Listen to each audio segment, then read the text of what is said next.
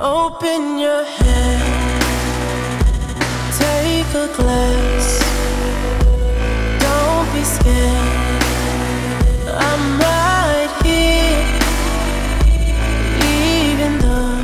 Welcome back, friends. We are back with another video. This is Wings Rule, and the moment has finally arrived. Um, our war record has finally been capped off with uh, an exclusive 100% war. Uh, way to go, team. This is freaking phenomenal. So excited. You know what? I was clashing for like six months, seven months before I saw my first perfect war, and uh, we've been in this clan for like 50 days, and we scored it. Last war, we were basically one more one star short. This war, forget about it. You know what? Last friggin' last star left on the base, and we have six Town Hall 9s still available to do attacks, and um, and a Town Hall 8 on a Town Hall 8 base.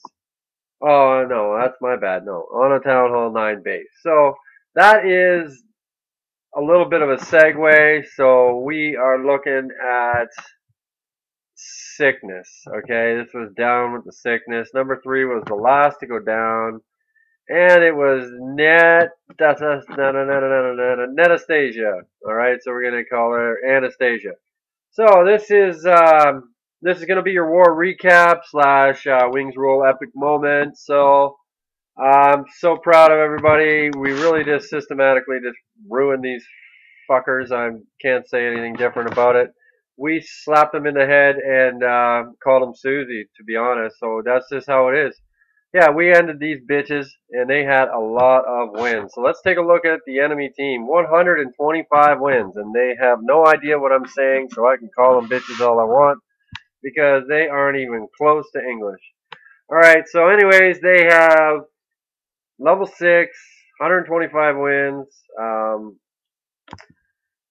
that's about all I can say about them, because that's about the only good stuff that I really have to say. Honestly, their attacking was terrifying um, on a, from a, a, a, high quality attacker's perspective.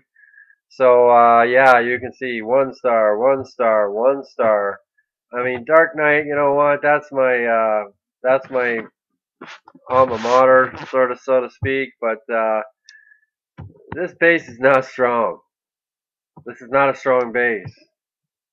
Their number two got one fucking star on them.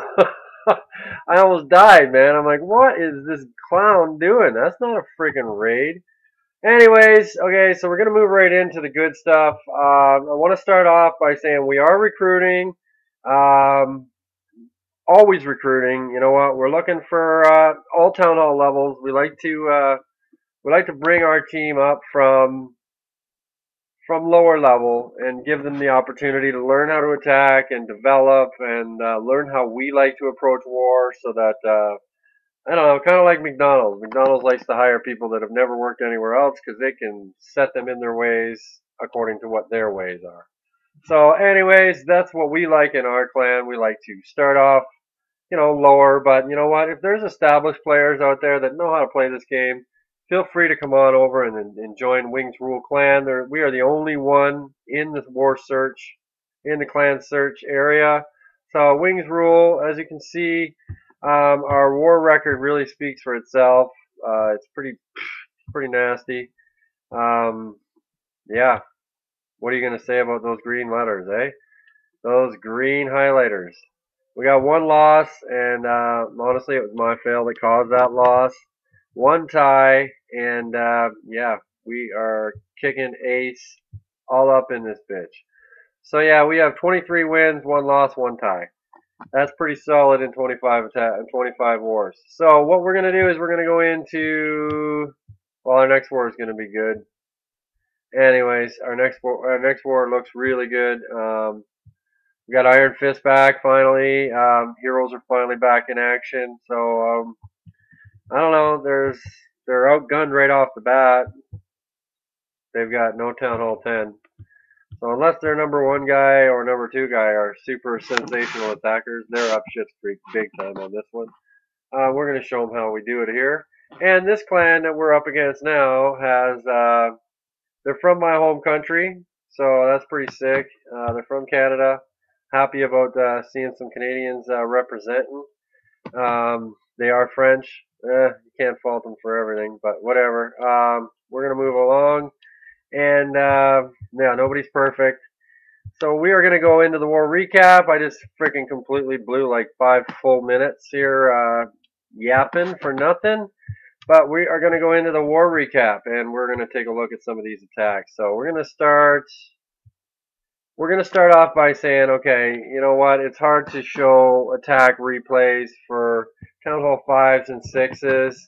And it's not that it's not important. It's just it's not it's, it's pretty redundant. It's pretty uh, I don't know. It's it's it's the same all the time. It's 2 minutes of just waiting for archers to 20 shot an archer tower. You know, like it's just, it's not that it's not exciting. It's just it's not as exciting and for viewership. But it's not that it's unappreciated.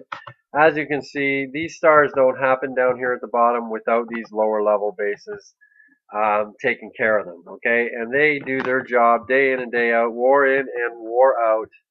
Um, and it's it's pretty huge. Okay, so I'm going to name off a few. Uh, row Okay, so I just named off seven, I don't know, 12, something like that. Row, awesome, Mr. Consistency, every war. What can we say about you? I mean, you're an invaluable, invaluable member of this clean, this clan. Absolutely, there's no question.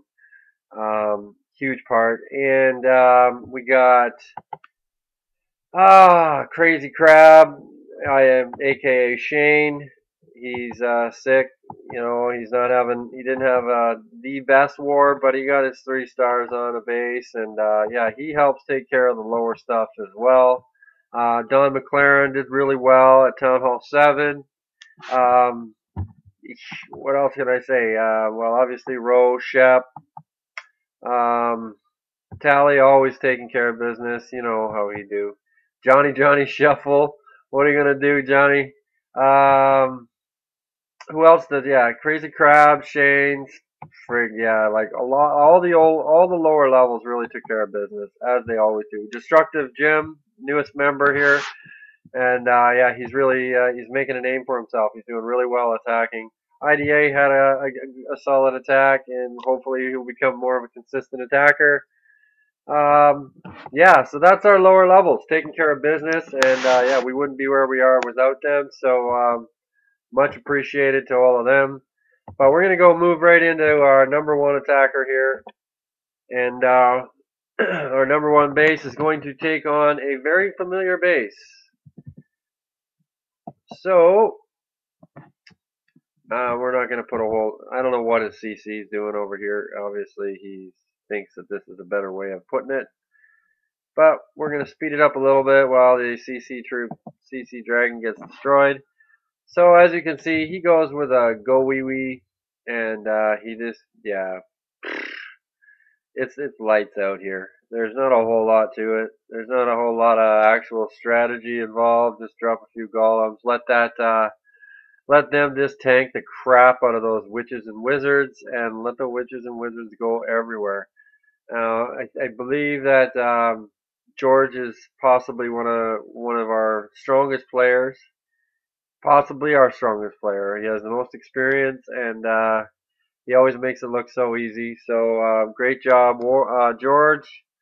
Um, they're taking out their number one base, best defensive structure. I don't really agree with the the town hall uh, base layout, but not at that level. If your defenses are that strong, really, you don't need to. You don't need to uh, try to perform some trickery on him. Look at all the troops he has left. George just wipes this guy out. Um, overpowered his base. Just completely squashed it. Why? Because he didn't have to break through hardly any walls to get in there. Um, yeah, just very poor base layout. So, uh, oh, this great. This attack is George again. Six star war from George. So, what can I say? there's no way to explain this any other way. So he's got the uh, the five golem attack happening here. He uh, three fingers the uh, first three drop. And uh, yeah, does a nice wide uh, spread on his wizards. And uh, he's going to drop some wall breakers in here. No, that's not. That's a lie. I'm forget thinking of a different attack. So yeah, he is basically just gonna manhandle his base. He didn't even wall breaker. He didn't use a jump spell. He just walked around this guy's base and killed everything.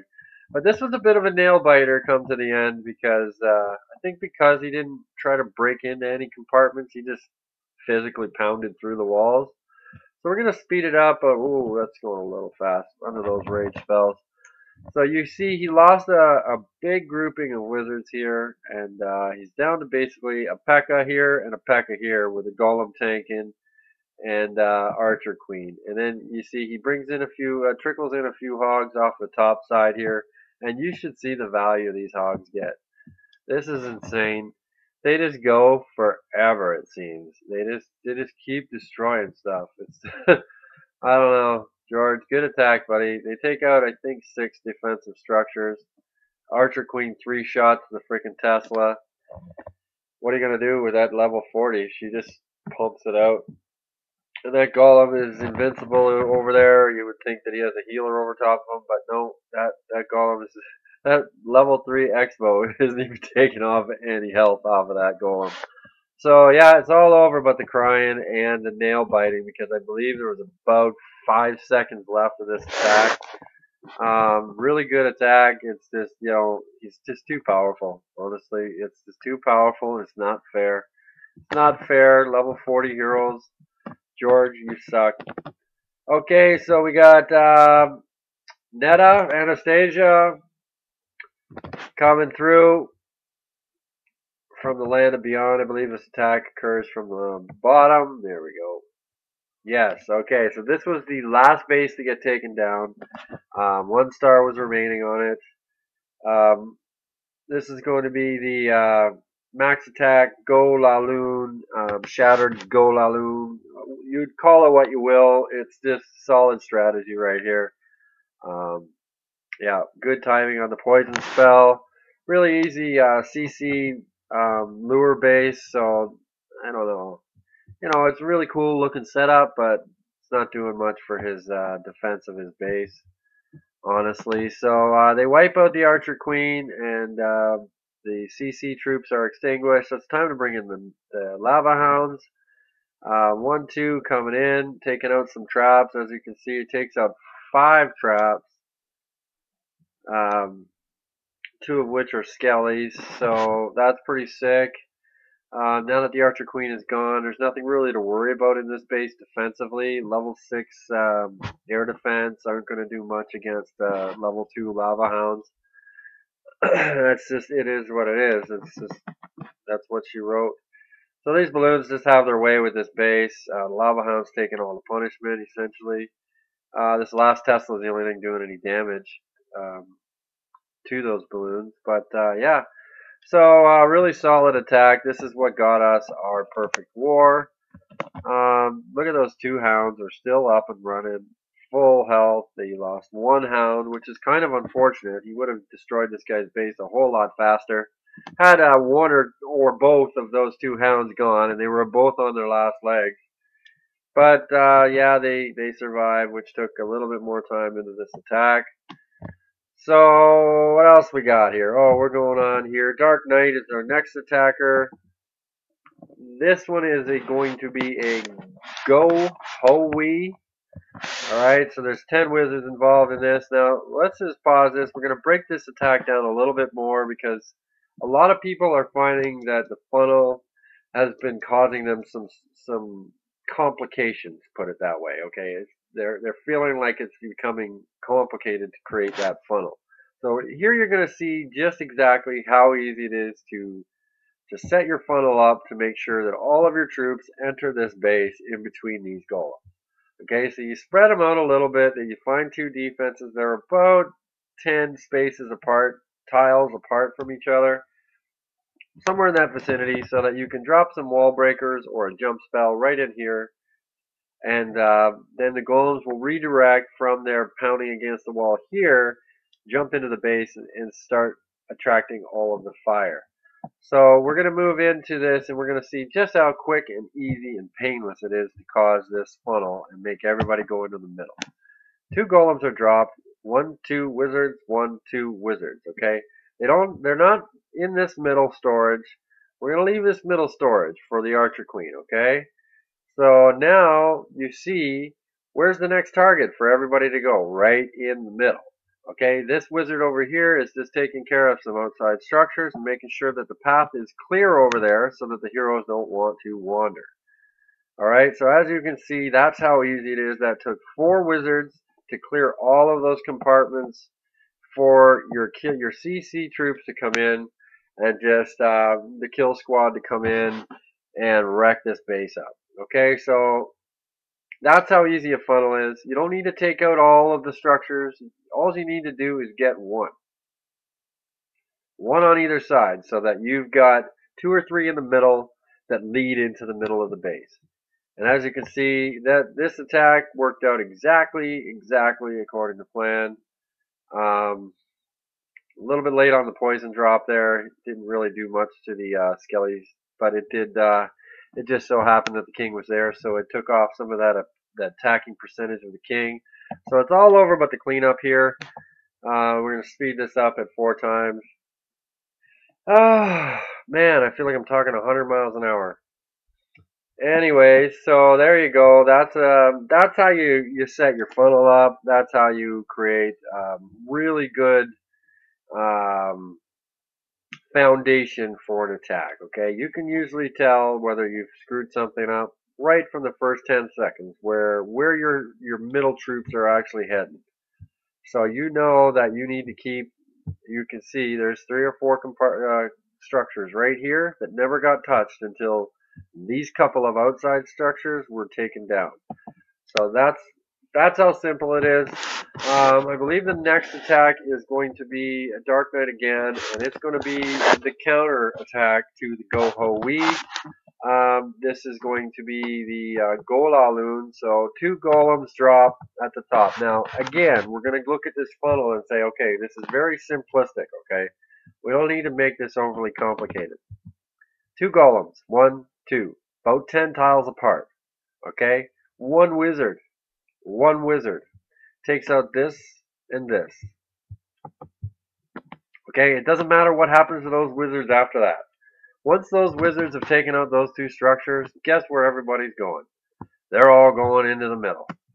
Alright, and then it's just it's just time to get nasty and wreck the crap out of this base. So as you can see, as soon as those defensive structures go down, you drop the jump spell so that they don't the golems don't redirect over to these cannons. Um, poison spell goes down for the uh, CC dragon and wizards. Uh, maybe a little bit premature on that drop, but as you can see, the king is in there taking care of the archer queen. Um, archer queen, uh, friendly archer queen, is in there taking care of the uh, the dragon. A um, little bit early on the hound drop. Obviously, I wanted this air defense gone before that happened, but it took the queen a little bit longer to take out the uh, the dragon than I expected. But really, this this attack is kind of self-explanatory. It just happens. Okay, so a couple of rage spells to speed the process up a little bit. Really unnecessary under the circumstances. Once you've gotten that core taken out and two air defenses, the lava hounds take care of the rest. Um, couple of back end balloons over here to uh, help with the cleanup.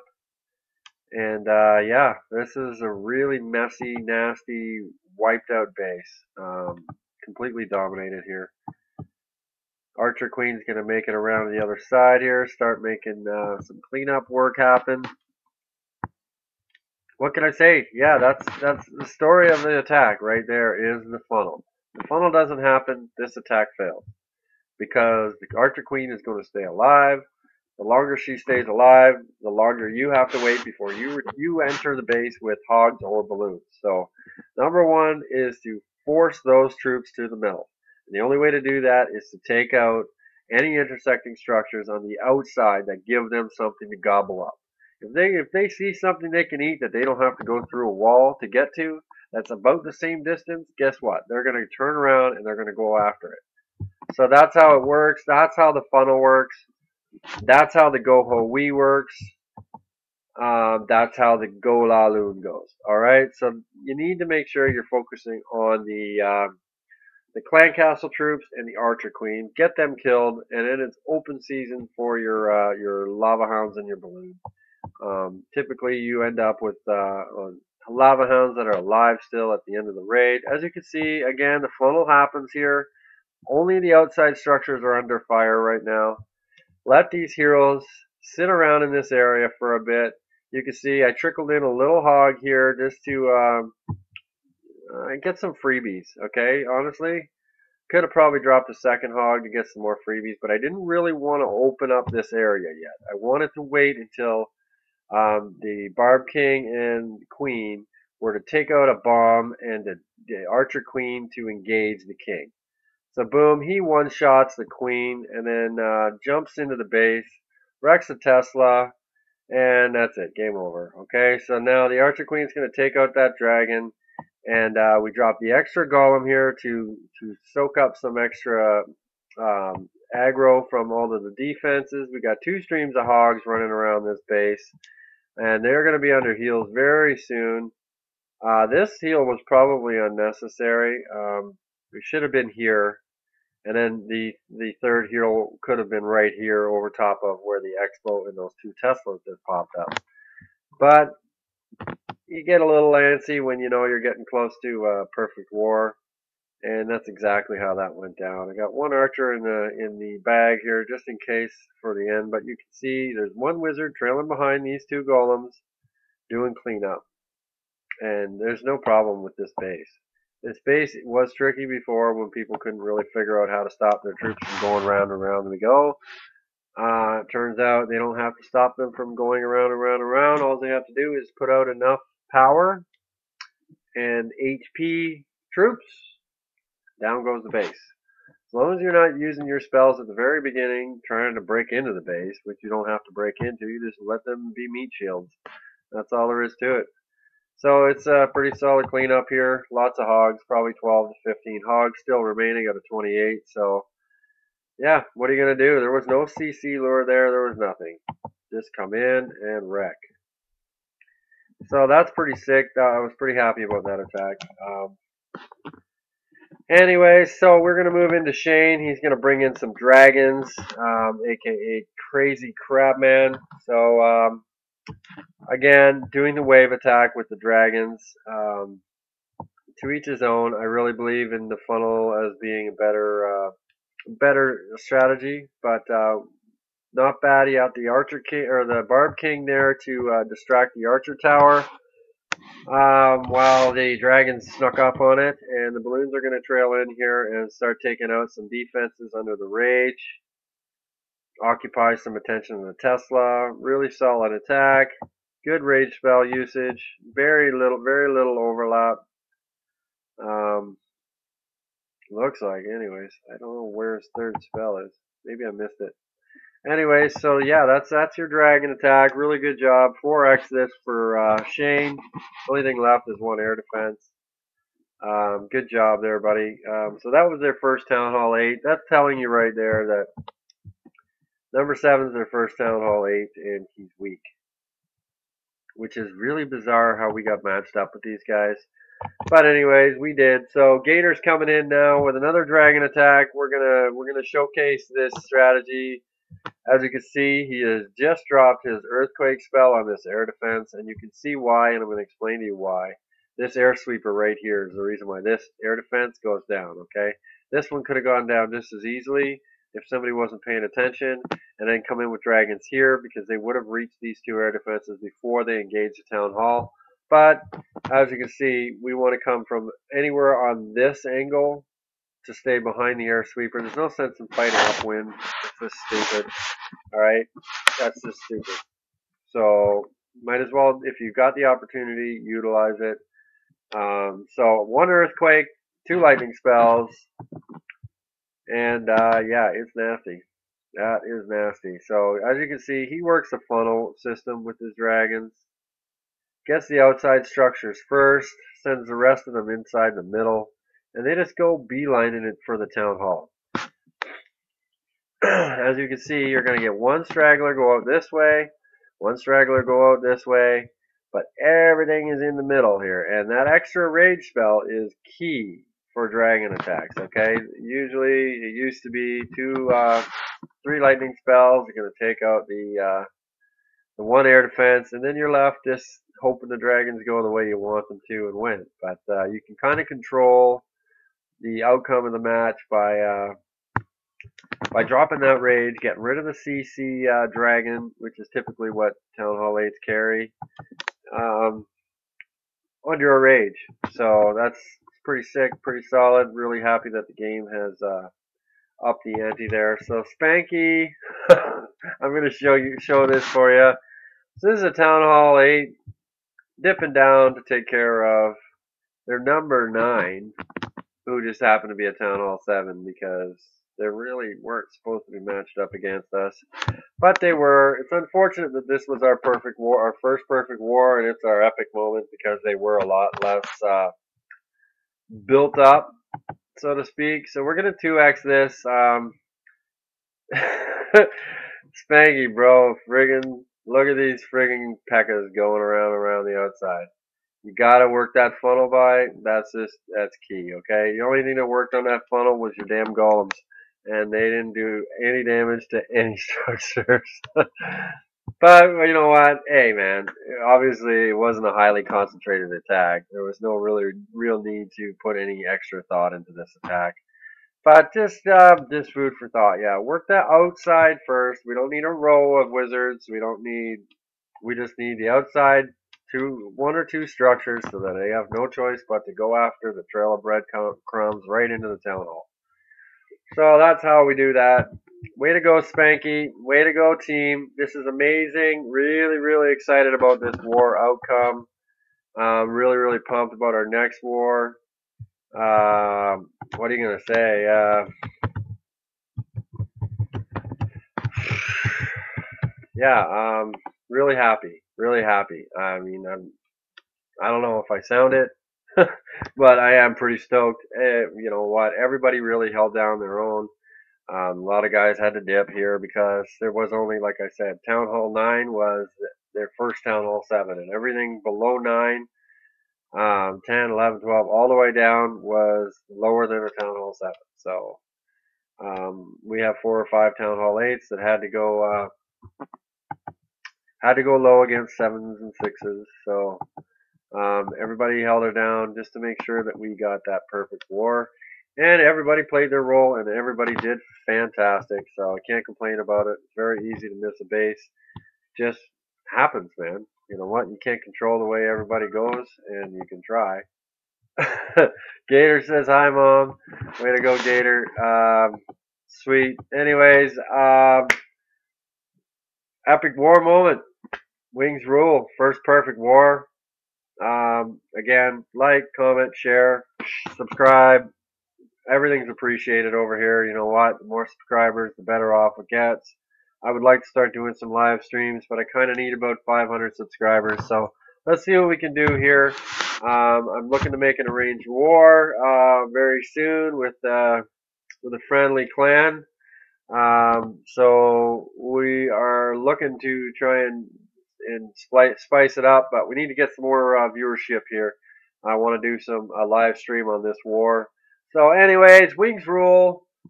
Uh, Wings rulers keep clashing. Open your head, take a glass. Don't be scared.